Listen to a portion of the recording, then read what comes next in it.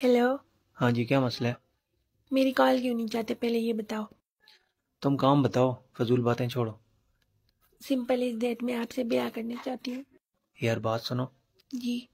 मैं खुद गरीब सा बंदा हूँ यार तुम्हें झूठे लारे नहीं लगा सकता। कभी रोटी खाता हूँ कभी नहीं खाता तुम्हें कहाँ से संभालूँगा? जानी खैर है कोई बात नहीं है मैं प्याज के साथ रोटी खा लूँगी। लेकिन आपके साथ ही ब्याह करूँगी।